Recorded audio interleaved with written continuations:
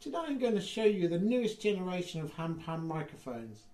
This is the Muling H1 magnetic contact microphone that has its own patent as a hand-pan microphone.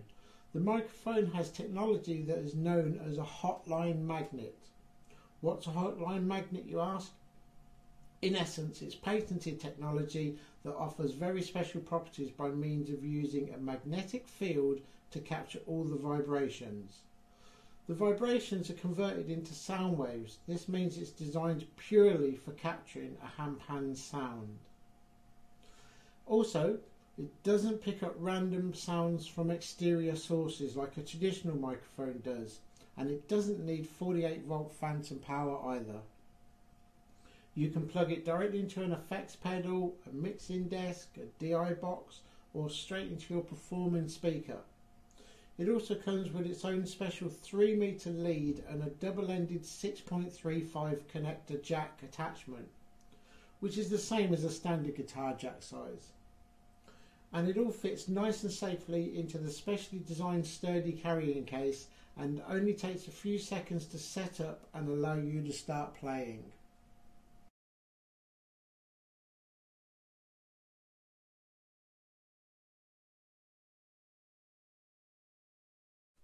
The amplifier we're going to use for the testing of the H1 microphone. We're ensuring that all the volume, the bass, the treble, the echo, everything is set to zero except for the volume for the microphone which is a standard guitar jack jack in microphone. We're setting that to 4 all the other sound possibilities are turned off. So the sound you will hear will be from the microphone only.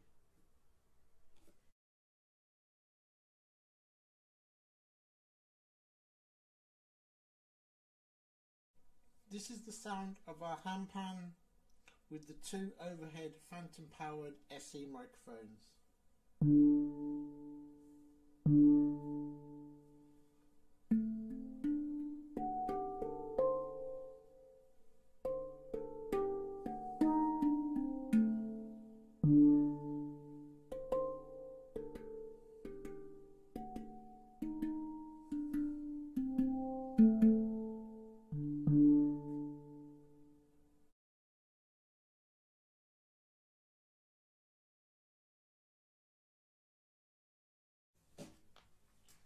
Okay, so now we're going to attach the microphone.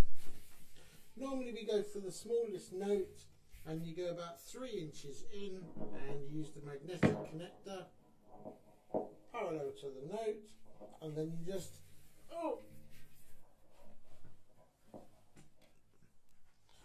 so now this is the sound of the handpan with the magnetic pickup the microphones are picking up the amplifier and they're not picking up the sound of playing the handpan. They're picking it, the microphones are now aimed at the amplifier, so the sound you're hearing is the sound of the pickup through the amplifier.